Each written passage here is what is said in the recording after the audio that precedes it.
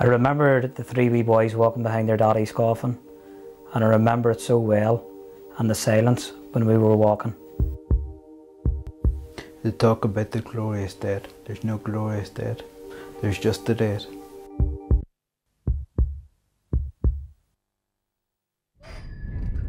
It's not just the old who have the painful memories.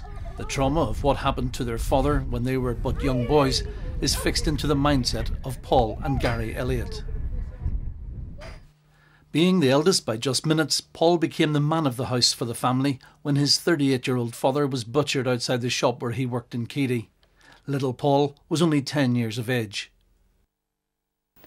That's the hard thing to talk about because he was a, a member of the Orange Order. He was a member of the, the Royal Irish Rangers. He was a soft target. And, you know, it was a statement from them that they would say this type of man is not acceptable in a town such as Keady. Pastor Cairnduff took us up uh, to a neighbour's house uh, where he informed us. He had the, the three kids all, all around his knee, and he informed us that uh, your father has been shot. And I said straight back to him, Is he dead? And he says, He is. And I think Gary then said after me, He says, you mean he's been killed? He says, Yes, he has been killed. And from that day and hour, that has hardened me and has hardened our family and give us a resolve in the family uh, to keep going.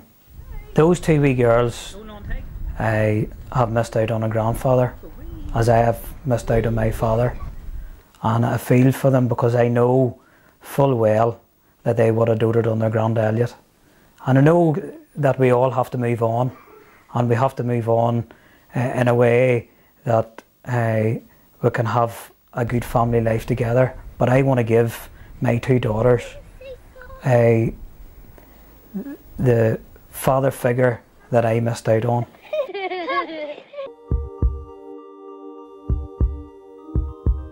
I, I didn't want to show it. I was bottling it all up inside me. And I didn't cry until they lowered my father into the ground. And then I knew it was over. But my father was a, a great man. You know, I was so, so proud of everything my father stood for.